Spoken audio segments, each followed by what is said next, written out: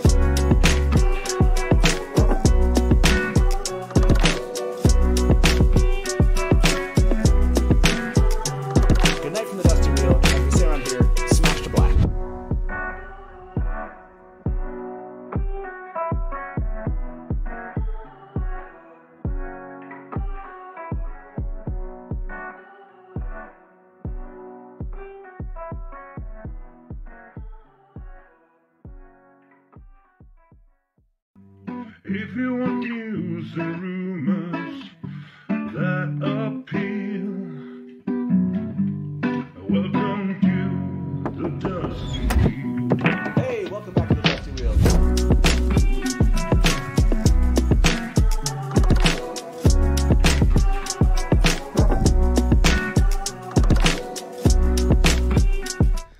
Welcome back to the Dusty Wheel. I'm your host, the Innkeeper, and this is our live call and talk show all about the Wheel of Time.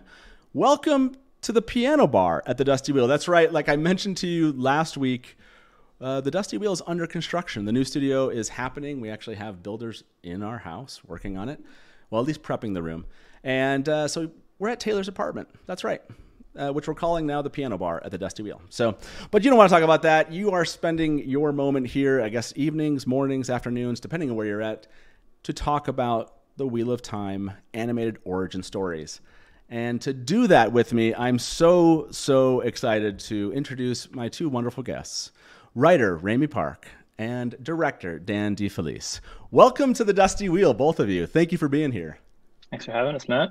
Ab- Hello. absolu- Thank you. absolutely. Absolutely. Thank you for taking the time to out of your I'm sure you're working today as I need to go back to work after this. So I appreciate you just taking some time with us to chat about Origins, which honestly, hopefully you've heard this feedback from fans. If you haven't, uh, I hear it all the time. I feel this too, which is uh, we've a lot of book fans just love, love, love seeing some of their cherished stories uh, from Robert Jordan's world brought to life in this way. And I, I want to dig into that a little bit. But before I do that, I think all the fans would would murder me if I didn't ask this question.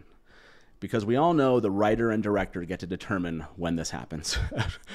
do you have any idea when uh, when we'll see the episodes that Amazon mentioned will be coming here in August? Rammy? Um, well, Dan, you know, I think we both have that big green button from Amazon Yeah. that says go, publish. Go live, go Um, live.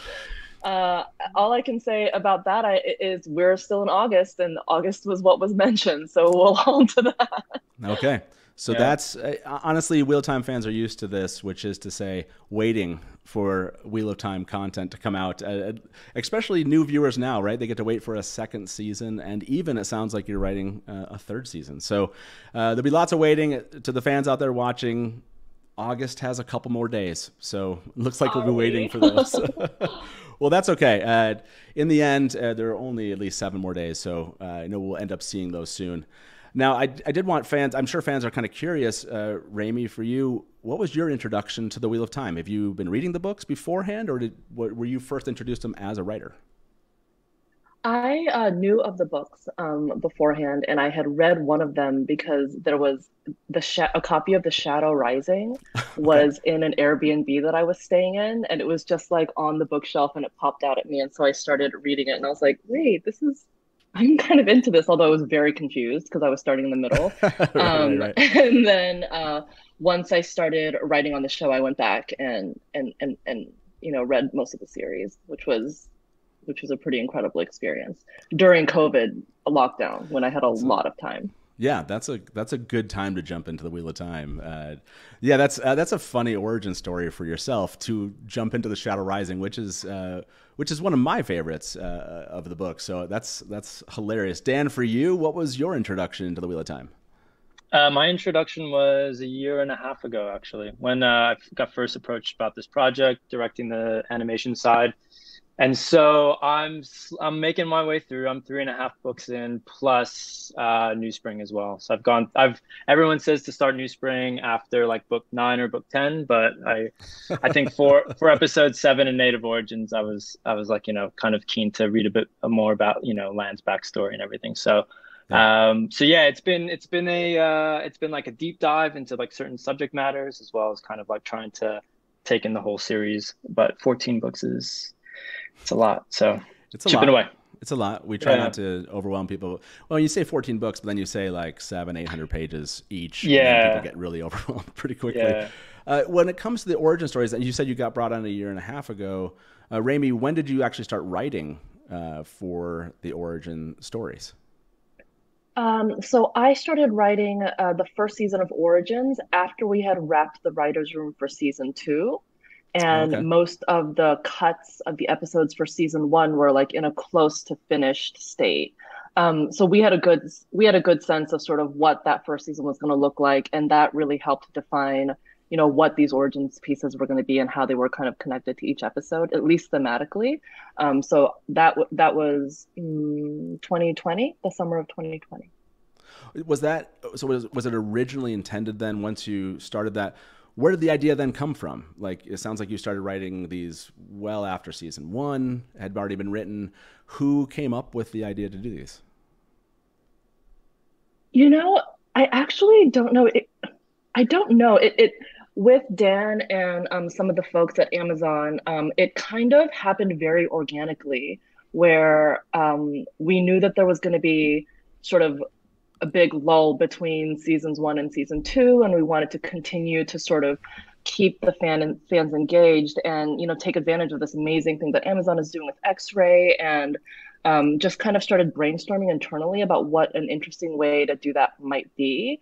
Um, and because the world of the Wheel of Time is so vast and there are so many things that you know we were never going to be able to really dig into on screen, and also things that you know we wanted to explain, but maybe not might not be the most like dramatic scene, um, something like that. That that we started thinking, okay, well, what if we take? And at the point, I think it was we knew it was going to be two to three minutes, so we knew it was short.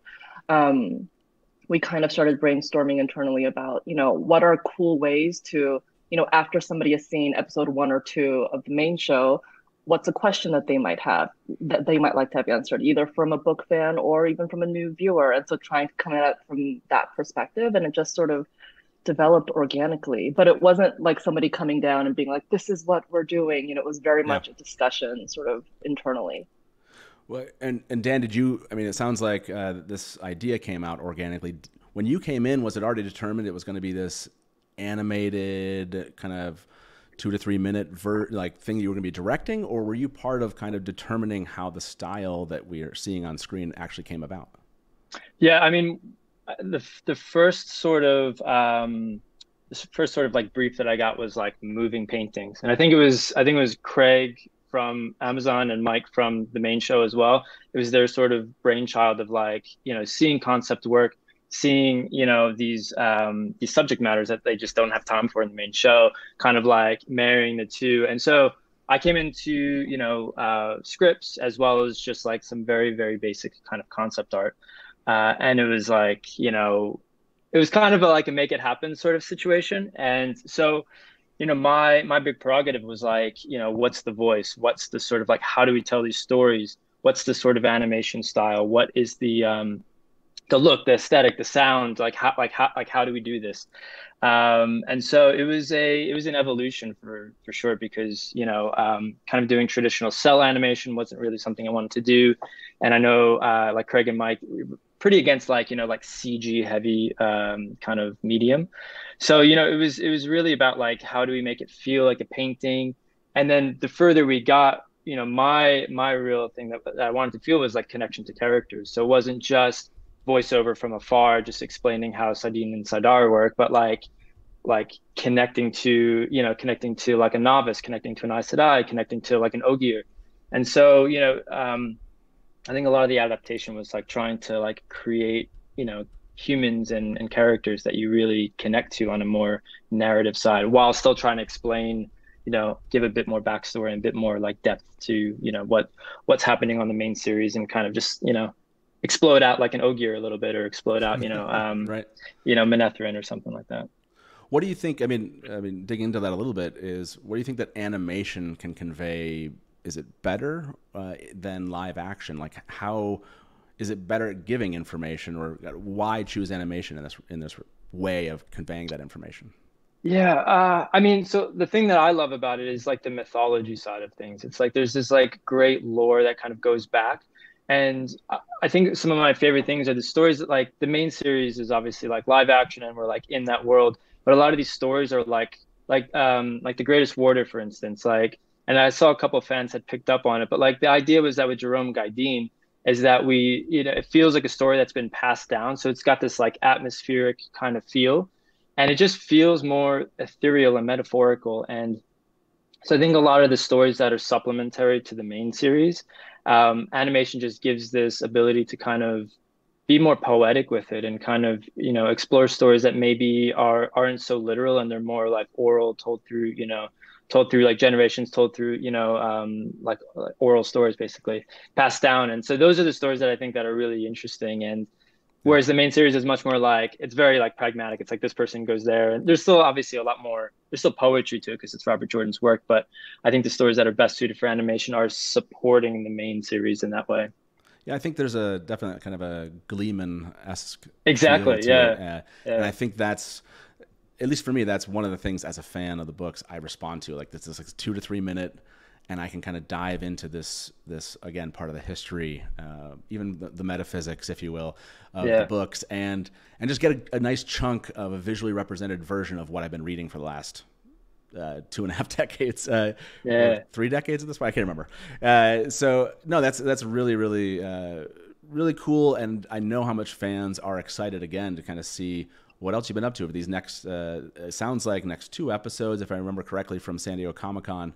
Uh, again, if you're just joined us, sometime in August is when those will drop. Uh, but for, for you, Rammy, on the other side, on the writing side, if fans aren't aware of this, you write for the main series. Uh, I think uh, Rafe said at San Diego Comic Con, you guys were going to go write season three. So, can you kind of speak to what the similarities and differences are of writing for the main series versus what you were trying to accomplish in writing for Origins? Mm, that's a that's an interesting question. I mean, one of the big differences uh, is that I'm doing Origins on my own, so there's less people to kind of bounce ideas around with. Um, but yeah. that's where someone like Sarah Nakamura is an absolute. I mean, she, like if I get her sign off, then I'm like, okay, I did it, success. Oh, sorry, my dog just joined the. no way. everyone loves everyone loves random animals joining. It's, it's fun. It's fun. Um, but I think a big part of it too, there there is something nice about you know our core team kind of going over concepts together. You know, when I was brainstorming pitches for this, kind of the process that that we went through was okay. Here's every episode in the first season, and I would come up with a couple of related ideas that I thought could be done in two to three minutes, um, and just kind of sussed out what Rafe thought, what Mike thought, what Craig thought, and kind of moved from there. Um, and it, it, was very much, it was interesting that you mentioned the Gleeman earlier because I wanted to find a way as we were developing this to have that kind of story time feeling.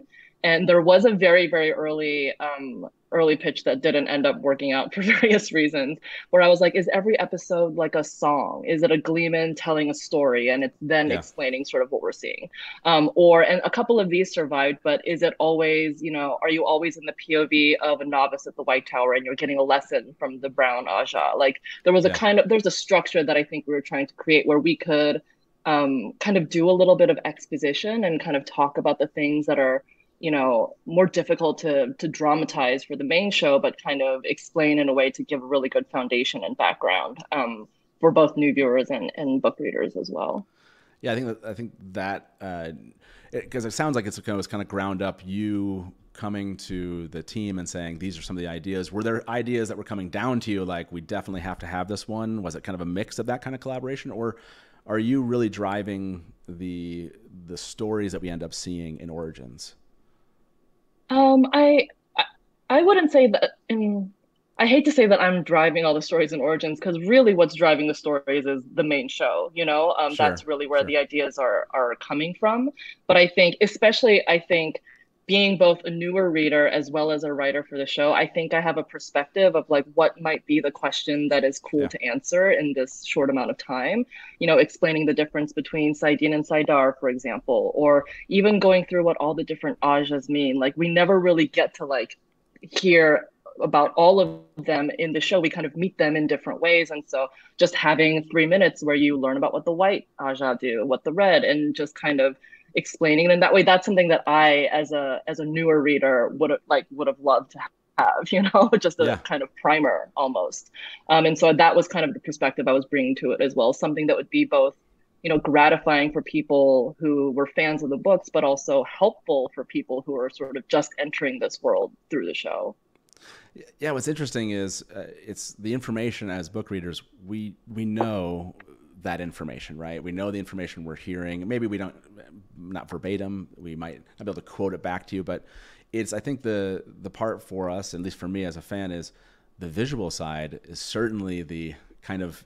I, I get so engaged by the visual aspect of you giving us information that as again book fans we we know already. So I think that, that pairing has worked out really well as far as I've heard, as far as feedback about this.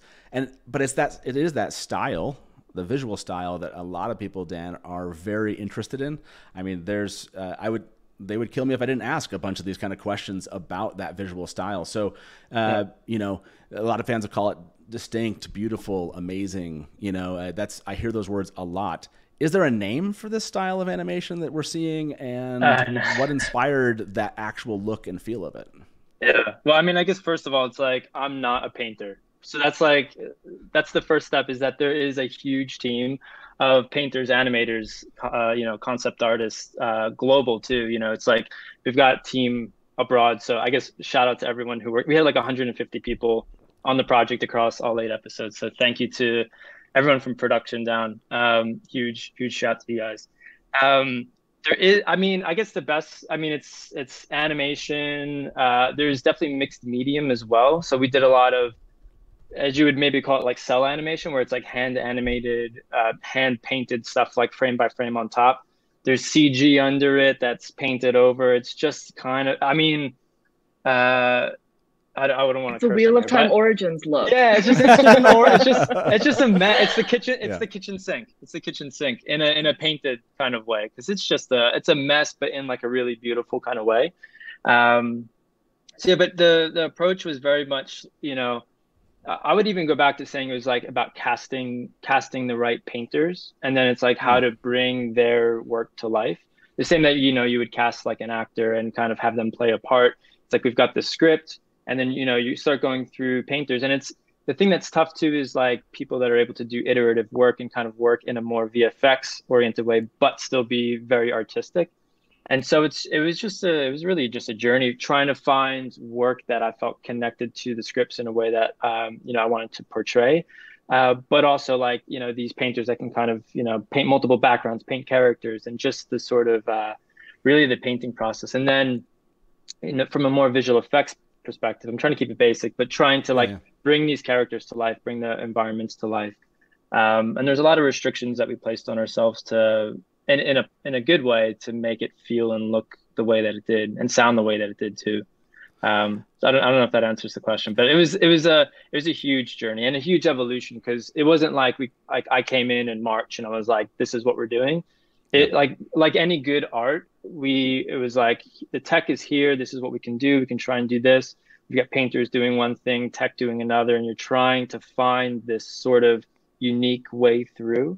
Um, so it wasn't like I'm not like some godsend that was like this is the technique and we're gonna do it like ABC. Like everyone get in line. It was like, all right, how how are we gonna do this? Because as the art unfolded, it's it, it warranted a certain level of animation and style and everything. So it was a journey. It was a huge journey. were there specific? I mean, Rammy just mentioned, you know, uh, from a writing perspective, was maybe you know take this. It's a novice's journey through information. Yeah. Were there were there certain styles that you tried that just didn't work, and that's how you ended up? Like, can you speak to any of the things that just didn't work for you as you came Yeah. together with this? I think anything that was overly uh, overly photographic. So anything that was like Hmm. too real.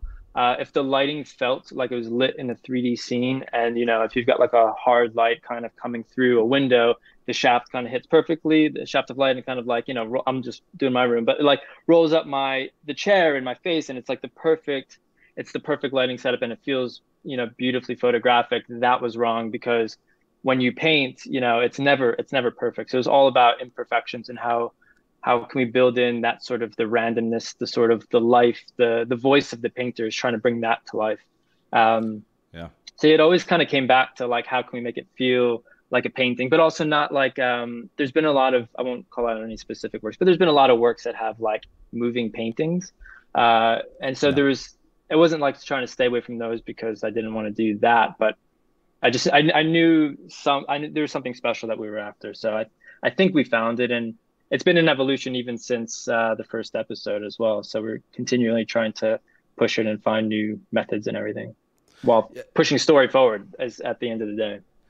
Yeah, and that's uh, I guess that's always part of the iterative process. You know, Yeah. uh, I'm imagining things changed from the first one you did, and as you Yeah. continued forward, I can say this: I know how much fans have enjoyed the art, and if Amazon, if you're listening out there, like. Give us some of this art on stuff. Like people want T-shirts with some of the like people love this art, and uh, Yeah.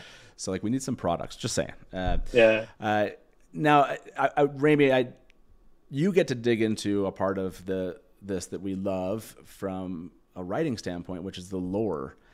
How do you determine uh, the lore that you're going to include, and then whether or not you're going to pair it with the main series? Because the main series has adapted things. You know, it changed certain plots, changed characters, changed even some metaphysics. So, uh, how do you determine if you're going to stick with the lore from the books or not, and how much you put in? Maybe speak to that process. Sure. Oh, yeah. It's a lot. oh, did we lose? Uh, we, we lost Rammy there for a moment. oh shoot! her, yeah. hopefully, uh, hopefully Rammy will jump back on. I know she said uh, that she was uh, having some connection, or it was. It was it was a connection issue might be might occur. So hopefully Rammy will be able to jump back on and be able to answer that question. And I know we only have you here for another five minutes, uh, five or ten minutes or so. So until Rammy comes back, uh, Dan, just kind of uh, following up on some of the things that uh, we, I wanted to kind of curious about. What were there any things or topics? I don't know how to say this. Uh, were there any that just you decided not to do? Like you you made or you decided you were going to do the story, and then you're like, no, this story isn't working from the lore of the books themselves that you can tell us about for season one. Nothing that was too like overt that we weren't going to do. It'd be probably more about how do we approach a story. I think you know. Um, so for instance, sometimes like the script would come through and it's a little bit more. It was just like a straight voiceover as opposed to maybe coming from someone that we would actually see on screen. Yeah. And so it was, you know, the like the the vessel, the eyes, trying to give a protagonist to I think all of the story, maybe except for breaking the first episode, which which Yeah. was a little bit more. I mean, I guess even that had you know I said I speaking to novices. Yeah, it did. Yeah, yeah. Yeah. So you know, trying to always find a, a lens through which we can tell the story. Um, and then you know, it's it's uh, I think early, especially early on in the process, before we even had a style, we had all the scripts. So a lot of it was sort of you know, taking the scripts, taking the essence of what it is, and maybe like, okay, let's remove this, let's maybe add this, and trying to shape the scripts that like once we had a style that was working pretty well um, to try and like maybe adapt the scripts a little bit more to like you know fit the style and sort of go back and forth on them a little bit so we never we never like scrapped well we did scrap one thing but it's not a it's not a big deal um Okay. just just in terms of uh it's just you know the as as as things evolve uh you just kind of um and i mean ultimately seven and eight are kind of connected to the main are connected to the main series uh, but we're releasing them you know six months later so there was an evolution in the stories that we told in seven and eight and Gotcha. kind of you know so What Yeah. what what were some of the you know you look back at well maybe I should ask you this did did we did you release them in the same order that you created them? So, for example, No. was was the okay? So, the, which one was the first one you created? Can you? Why don't you guess? Okay, um, of them, uh, If if you- if you have an educated guess, it's it's not a big deal. um, maybe the one on about Manetheren. Yeah. Was that the That first one? fir- That was the first one. Yeah, and Okay. and part of me wishes I could go back and redo it because we learned so much about characters uh, and how to do characters, you know, like more strong, like stronger and better and all that. But that was the first one because break breaking had so much scope to it. Yeah. Um, but they're never. It's never like you do one and then do the next. You're, they're always overlapping, and um, so that was that was the only out of order one that we did. I, I uh, okay. guess. So yeah, well, I, I got a good guess there. I mean, Yeah. that was like, uh, uh, so very cool. Um, now, uh, what was, I guess, uh, the the change, uh, the ch- all the changes as far as from the from Manetheren out to the final one you've done, and then you have two more. Uh, when we see these last two, are there things that kind of have changed about either style or the way you're telling the story in seven and eight that will be noticeable and that you're waiting, you're you're kind of anxious for us to see? Yeah, I mean the, the main the main thing, which I, I, I hope I'm allowed to say this. I, I don't think it's a big. It's it's more narrative as opposed to narrator. So it's less of like a voiceover telling us, explaining things, and we're just a bit more into the story, which more character driven ultimately. There's still a bit of that form to it, still a bit of voiceover in both, uh, but they're more they're more character driven. Okay. Yeah, then that, I I, think that yeah. I, think people will appreciate kind of knowing that uh, again a little insight on kind of what's happening there. I know I probably have you for maybe one or two more questions here. Yeah. What can, can you speak to the technical process? You know, uh, that go that you go through from a directing standpoint when it comes to animated stories. Like I'm I'm Uh. trying to imagine like what does this look like? You know, I'm trying I'm thinking traditional film and like okay, I, I imagine someone's behind a camera or they're getting they're getting like uh, uh, shots or clips and they're piecing them together, whatever it is. Can you speak to what this is like directing an animated origin story? Yeah, it's a nightmare. I mean, I I, uh, I I have a lot of like live action experience, you know, filming, working with with actors and stuff. So Yeah. that typical process is, you know, you do all the pre-pro and then you shoot it and then you can just edit everything together. This is more you build up from, you know, the the ground the groundwork is like the storyboards. You know, it's um so from very early on it's like, you know, this shot to that shot to that shot. So you're really building up that story based on on the script and then you're getting in a lot of like temp voice work that temp voice work then drives like the timing of things and then you start building in like very rough blocking cg pass um and Rammy's back Oh, Randy's Um, back. yeah so it's it's uh it's you do you do a lot of passes so it's like it's a Yeah. lot of building up and layering up and slowly get um um and then like tgw uh the, sorry the greatest warder we did a uh, like a mocap shoot for some of those more fight oriented sequences. Um and then you know the last two we we did a little bit more performance not cap performance reference of um you know of daniel and Yeah, uh, really and, cool. and all the actors yeah. So that like that's more my wheelhouse where you've got you've got an actor their face and they're actually you know you're using that expression to like drive the cg and you're using that expression to actually kind of um, help with like the pacing in terms of edit. So um, the, the the old school animation thing is uh, like all the credit to those you know those types of artists who do that because it's it's really it's so time consuming and difficult to just like layer up in that way Yeah, yeah, absolutely. No, it, I like how you started off. You're like, it's a nightmare. I wish I could dig I mean, in even more. I wish I could dig. Yeah. dig- I wish I could dig into the process even more. Uh, Rammy, Yeah. uh, I know we're running out of time here. I'm going to ask you a really simple question because I'm sure the question I asked you, I, I will want to come back someday and get the answer to that question. But um, uh, you mentioned at San Diego Comic Con that you know someone asked a question about season one, and, and you guys were kind of coy on the stage of like what you could say, and you said, "Well, let's just say we would like to maybe tackle Forsaken," you know. So I have to ask you, who is your favorite Forsaken? Ooh. Ooh. Okay. Mm, it's a tie. It's a tie between two very different ones. Okay. Um, I really love Lanfear. I think she's just, I mean, she's she's really fun and there's a lot for her to do. Um, and I'm kind of obsessed with Moghedien. Okay, okay. Moghedien's a good. Uh, I mean, if you had to throw a second in, which I understand some people do, but I I mean, understand some people got to be number one. Got to be number one. well, clearly you've watched this show before, or we're just on the same page because I agree. Lanfear is the best. Uh, Dan, do you have a favorite Forsaken before we let you go? I'm I'm too early to tell. Just three and a half Okay. books in, so I'll get back Okay. to you when I'm Well- when I'm through. Get back to us. Hey, thank you so much. Uh, there's so many other questions. I'm sure in chat people are like, ask this, ask this. I know we we have to let you go here. Thank you so much again. Fans love this work and are looking forward to the next two episodes and hopefully more. Uh, that's Amazon. If you're out there, let this continue happening. I know how much uh, everyone has enjoyed it. Would love to see you guys continue this on fu- through f- future seasons. Uh, and please do. I hope you come back to the Dusty Wheel. But thank you very much for being here. Thank you Thanks for for having, having us, us. Matt, and thank you for having my terrible internet. No, no worries, no worries. That happens. That's it's live. That's just it. Just happens. Well, if you're if, if you're out there watching, hopefully you've enjoyed this. Go check out Origins on Prime Video. It's you just look up the Wheel of Time on Amazon. They're there. They they pulled them out. They made them much more accessible than they were early on.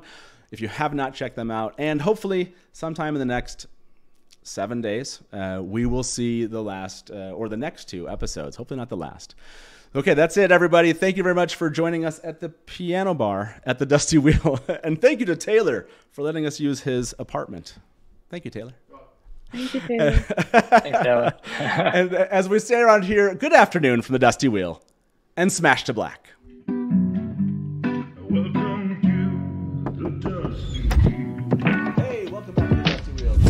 You went right to kill it. Look at you. You're already. You're just done. I mean, this is like, uh, this is one really of the well. scenes. Um, and now I'm like, great, my turn. And if you don't like that and you want to say, well, Robert Jordan could have made the two rivers all white, he could have, but he didn't. So Just complimented me on my dress, and as you can clearly see, I'm Sad. not wearing one. I see I like Lukumi it. as something along the lines of a Shadar Haran analog. For it does make sense why it outlasted the breaking. Is Yeah. what I'm saying. See, this, is, this is why I have Therese in the show because she's going to correct everything that. Hey everybody, welcome to the Dusty Wheel Show. What? Meme Off Challenge. Yay! Harold like baby face mounted on like a huge body. So like all This of is a not sudden, just like, a wow, traditional fantasy, right? There, there are sci-fi And elements. just a moment those that are ago, kind of uh, Rafe tweeted something. So let me get my guest in here with me. And Probably, I would say, get- let's put in talking 70, 80% of the work. I got to be over the shoulder and be like, no,